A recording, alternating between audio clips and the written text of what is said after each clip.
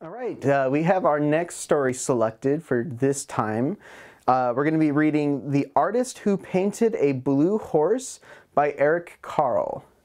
Um, it's not going to be as long as some of the other ones have been, but I hope you enjoy it nonetheless.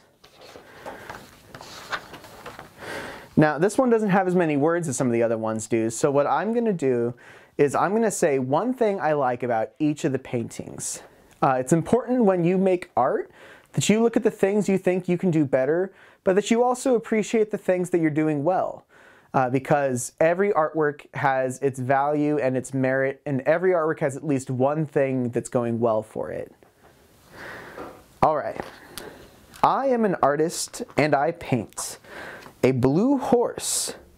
Now in this one, I really like the streaks in the hair to kind of give it some definition and a red crocodile. Now the cool thing about this one is if you look at those teeth, I really like how they have kind of the different colors on the teeth there. It makes them look really interesting. Plus all the waves to show the scaliness of the crocodile. And a yellow cow. Now, I really like that night sky. Don't you see how cool it is that it goes from the really dark to like a much brighter blue as we go up into the sky? That's really cool. And a pink rabbit. Now, I don't know about you guys, but this rabbit is adorable. I absolutely love the little eye, and I think that, let's see, what else is pretty cool about this bunny? Oh, I'm sorry, rabbit. Oh, look at all the crazy little swirls we got going on in the ears. That's really cool. And we have a green lion. Okay, first off, green lion, awesome choice. Uh, but if I have to comment on something on this lion, I'm going to say that mane looks amazing. Look at how bushy that mane looks. Isn't that really cool? All right. We got an orange elephant. Now, I know what you're all saying. You saw this coming. You knew next up was going to be the orange elephant. Well, let's say this orange elephant has got some really cool dots going with that little stubble effect. You guys see all the little black dots? That's what that is. Uh, I want to be friends with this orange elephant. And, oh, we got a purple fox. Absolutely yes. Purple fox is awesome. Look at those eyes and that super poofy tail. Purple fox, you get some solid approval from me, buddy. All right. And we got a black polar bear.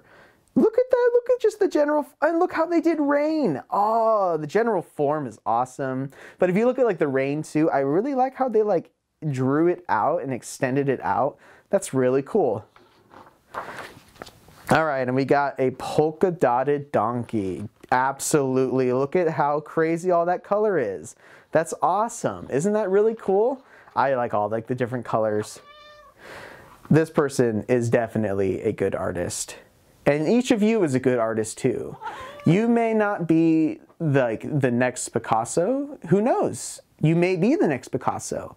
But each and every one of you is a good artist because no matter how good you may think your art is, your art is good just because you made it. And no one else can make art just like you do.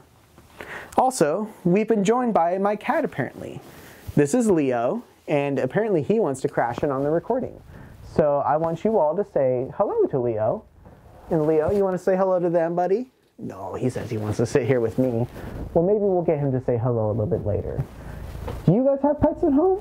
If so, post your pets in the comments. Talk about your pets in the comments.